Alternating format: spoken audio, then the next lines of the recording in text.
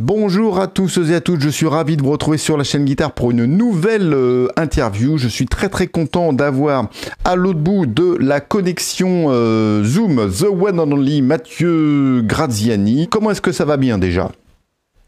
Ben, Salut Pierre et bonjour à tous. Tout va bien, écoute, tout va bien. Ouais. Il fait toujours beau encore, tout va bien, ça roule. Il fait toujours beau, la chaleur revient un petit peu au beau fixe, mais euh, ça va sinon, ça va. On est mieux que, on est mieux que cet été. Ouais.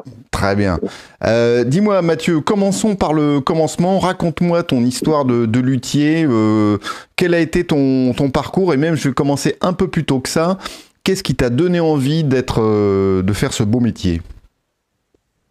Alors, euh, moi, j'ai euh, j'ai commencé à jouer du sistre, de la chitra, c'est donc un sistre corse, euh, à l'âge de 5 ans, euh, dans un petit village pas loin d'ici, à Pigne.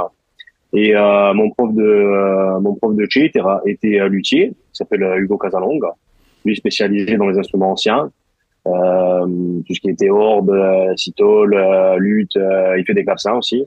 Et euh, donc j'allais, euh, du coup, étant donné que c'était mon prof de, de sistre, j'allais souvent le, le, voir dans son atelier. Et voilà, de, on m'a toujours plu l'ambiance qu'il y avait dans un atelier, l'odeur du. Amplifiez votre passion pour la guitare pour quelques euros par mois. Rendez-vous sur lachaîneguitare.com.